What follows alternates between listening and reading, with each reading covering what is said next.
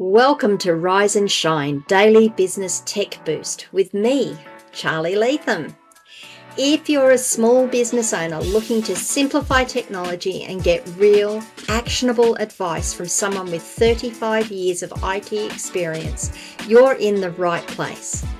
Every episode, I'll dive into tools and systems like email, CRM, marketing, and tracking, and break them down into bite sized tips you can use right away. Your time is valuable, so let's get straight to the point. It's time to work smarter, not harder. Rise and shine. It's your daily dose of business tech information with me, Charly Leetham. Episode number 437 today, and we are going to be talking about delegating access to your Google Workspace email account. A reminder from yesterday's podcast the reason you want to be able to delegate access is if you want someone to be able to log in and manage your email on your behalf. But you don't want them to log into your full Google account. By letting them log into your full Google account, if you've got two factor verification on, that's a problem because you need to be available so that they can get access to um, the, the codes to be able to log in. And you're also giving them access to the whole of your Google account, not just your email. So delegating access is the important thing here. So let's switch over to the screen share and we're going to go to our admin account. Now there's two things we need to do with when we're delegating access to a user's email account. The user can actually delegate the access in Google but we need to make sure that the admin settings are set up so that they can do that delegation themselves. In your admin account, you need to log in with your administrator account, admin.google.com. Make sure that the user has the access to be able to do this. I could go through the menus and find the settings, but what we're going to do is we're going to go up to the search bar here and we're just going to type in the word delegate and you'll see here we've got mail delegation comes up. It's got the little uh, Gmail icon. Click on that. And that puts us into uh, Google Workspace settings for Gmail, user settings. That's where we want to be. We need to come down. It's here somewhere. Mail delegation, right here. Mail delegation. Let users delegate access to other users in the domain. Now, this may be turned off.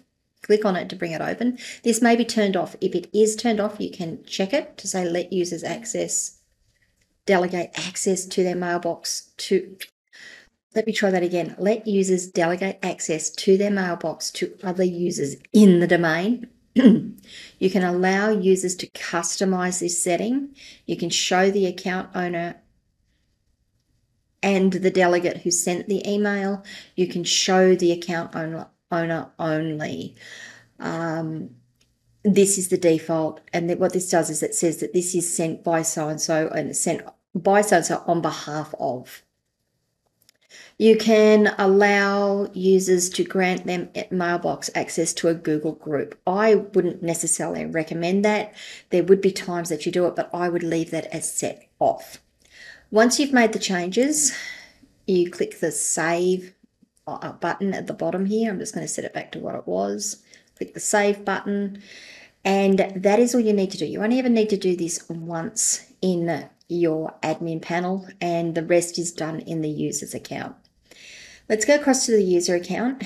To get to the user account, you go to gmail.com or mail.google.com, log in with your Google Workspace account. Again, this will all be blurred out. This is my older account, so there's a lot of older emails in here. Go to the settings icon, which is on the top at the top. Far right, go a couple of couple of icons to the left. Click on settings, see all settings, and go to Accounts tab here. Under the Accounts tab, you scroll down to where you've got grant access to your account. You can say add another account here. So this is this is where you delegate the account, the access. So click add access to account. drag that down, wait till it comes up. It's going to ask me to verify that it's me. Just bear with me. So this is two-factor authentication, and this is why you um, want to. I've just got my phone here so that I can do this. Why you want to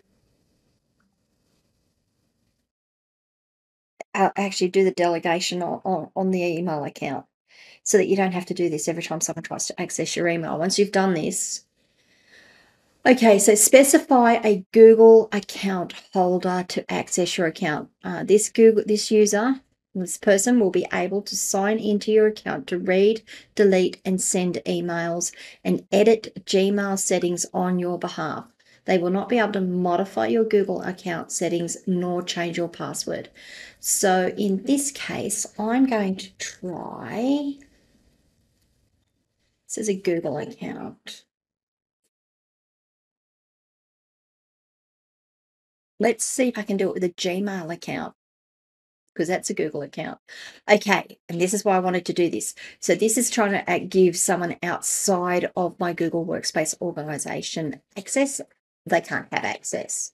It says here you can only grant access to Google accounts in the same Google Workspace organization. So you, the users do need to have a license within your Google account. Uh, who's got it? Is it I think I can do it here. Okay, so I've put in one of the users on my account. It's asking me, or it's telling me that I'm about to grant that user access to my email. You'll be able to revoke this later. In order to complete this process, you need to send a confirmation email to the user to accept access. After accepting access to the account, they'll be able to open your account. So uh, blah, blah, blah, can access your mail using HTTPS only. That's fine. Send email, grant access. All right, so sent email there. What we're going to do is we're going to open Gail's account here.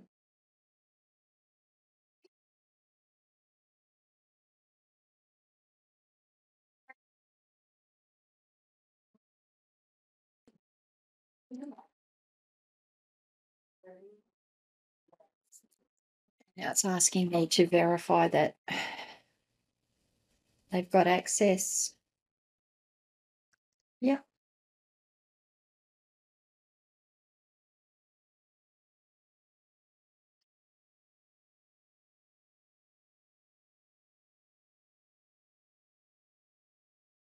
Right. I have to go and get it. So I'm going to pause this video and we will be back in a moment. So what we have to do is go and log into the user's account that we've uh, delegated access to, get them to confirm that they've got access to our account or that, that, the, that they accept that they will manage our account on our behalf. That takes a little bit. I have just sort of skipped over that part of it for now. And it's, see, it says it's pending here. If I refresh that screen because I did just accept it. We scroll down. Oh, we've got to go to. There we go. We've got Gail has accepted the uh, the the access. Now I am already logged in as Gail here, so I'm going to open up Gail's account. We're going to see how that looks. I think I can do that. So the way that that looks, once Gail logs into her account, um, again, this will all be blurred out. Across here on your, your, your profile area, you click on that, you come down, you see we've got this delegated access here. And if you click on that, that will allow Gail to log in as me to my account. Um, and you'll notice up here in the icon, it says that you're a delegated, you, you're delegated and you're accessing my account as a delegated user. So Gail gets to log in with her account. She can then log into my account without having to log in again because it's a delegated access. And she's got access to my inbox. She can see everything here. She can modify my labels. She can she can do what she needs to do to make my account work for me. Okay, that was um that was interesting. uh, to remove the uh, delegation. Uh, let's just go back. Sorry, I'm just going to finish this off. So this is now back in my settings as me. Uh, and you'll see we've got Gail has been accepted to delegate. Uh, she can choose to mark as read, mark a conversation as read when it's opened by others, leave conversation as unread when opened by others. Now, I leave it as unopened um, because I like to check my messages and see what's new when I come in. But if you've got a VA working for you, you might find that it's just easier just to say if, if they've read it, it should show as, uh, as read, and then you know what you need to handle while they're not around. The sender information, you can show this information, this address and the person who sent it by sent by, or you can show this address only. So if you don't want it to say sent by Gail on behalf of, just set it to show this address only and it will only ever show your address as the sending address. Uh, there's nothing to save, that's, that is uh, updated automatically. So that is really as difficult as it gets. Let me come back and have a chat. All right, so what we did there was we, we sh I showed you how to set up the admin settings that you only ever have to do once in, in your Google admin panel so that users can del- uh, yeah, delegate their account to others if they want. I, I showed you how you added a, a user to your account so that they could manage your account on your behalf. I, what I didn't show you was how they went through and accepted it. It really is a matter of there's an email, you click on the link, it's all done. And then I showed you how they access your account and how it shows to them as the user. Uh, what else did I have on that one? It's kind of, oh, that's right. The only the only proviso on it is that if you are delegating access to your Google account, your Google Workspace account, the user has to be within your Google Workspace account itself, the your Google Workspace. It can't be a another VA on another Google Workspace or a, a Gmail account. It has to be within your your Google Workspace, which means they need to have a license as well. That's the only constraint on it. Okay, what do you guys think? Do you think that's useful? Do you think you can see a use for it? Have you used it? Have you tried to use it? What do you like about it? What didn't you like about it? I would love to know. Leave comments wherever you are watching or listening to this video. Come across to my locals community, askcharlyleetham.locals.com and join the conversation there. If this video was useful, please give it a like. And if you haven't already, Please subscribe to the channel and ring the notification bell so you find out when I drop more content.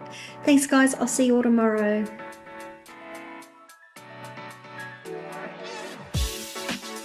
Hey there, thanks so much for tuning in to Rise and Shine, your daily business tech boost. I hope today's episode gave you some actionable insights that will make your business tech work smarter for you.